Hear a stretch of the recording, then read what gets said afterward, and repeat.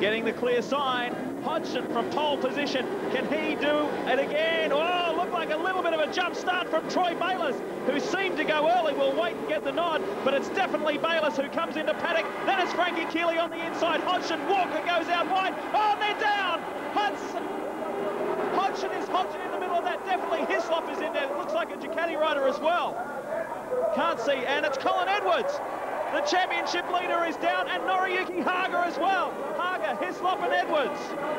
Well, it's Hislop that's laid on the floor, and we can see him there.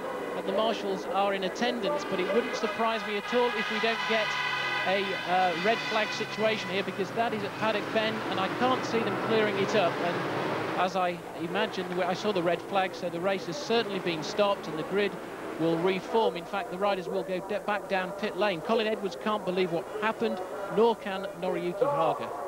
Red flag situation, wow. What a start. Bayliss seemed to go early. We'll wait for a, uh, an adjudication on that. And then that terrible incident at Paddock Hill Bend. Here's a replay. Roger, talk us through. Well, what happened, Bayliss seemed to catch everyone out because he jumped the start, and I think he would have been penalised for that. And then in the next shot, we see when we get to the approach to Paddock Bend, and this is a 90 mile an hour corner. Chris Walker's coming round the outside. Neil Hodgson there's on the inside. Hodgson goes, tries to go up the inside and has to pick the bike up, and that causes um, the problem, and that scatters everyone down. And you can see the Yamaha of Steve Hislop um, bouncing along there, and Steve Hislop uh, jumping through the gravel. And I think Steve Hislop took a knock on the head there, and we'll bring you information on him just as soon as we can. Well, the paramedics obviously are in attendance as Haga's bike and Edwards' bike needs to be dragged out of the gravel trap. And that was a very, very nasty looking incident. The riders returned to the pits. Steve Hislop appeared to be unconscious as he was tumbling through that gravel trap on the outside to paddock. Not the start that we were looking for. And certainly the paramedics, they have been brilliant. Unfortunately, we've had a few falls this weekend and in the other category as well, the super sport category. The paramedics and the marshals have been on the spot so fast this weekend and we have brilliant med medical facilities here at Brands Hatch and definitely Steve Hislop is in the best hands. Here's Hodgson, who was right in the middle of that incident. It was a little bit hard to see because of the rear camera angle. He was certainly in there in the middle with these two guys. Haga was coming through, charging through, and Edwards was there, and Hislop was alongside. And those two bikes there are two of the bikes belonging to the riders in the top three in the championship.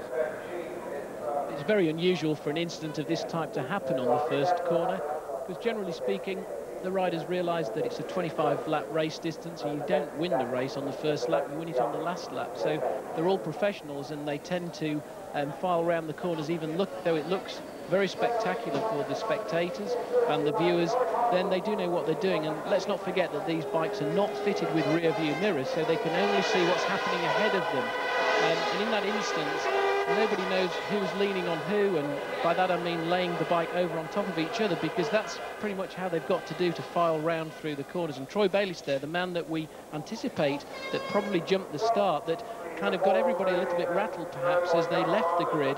They were wondering if the, the, the, they would be called back because of a jump start, um, and then obviously the incident happened down there at the bottom of Paddock Bend. It's um, not a good place um, for an incident to happen because, as you can see, the, the track comes downhill and they then they go off. So when you fall off going downhill, you obviously gather momentum. But Norrie Haga is obviously okay, and Colin Edwards obviously okay, and the paramedics there still attending to Steve Hislop. A replay again. Watch to the inside here. Hislop is in the fluoro yellow helmet on the red Yamaha.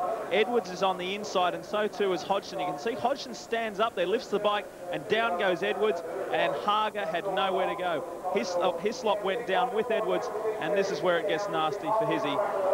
Tumbling through the gravel trap, and Haga had nowhere to go. He was immediately behind that, and John Reynolds, you can see on the left of screen there, he was tangled up in that as well.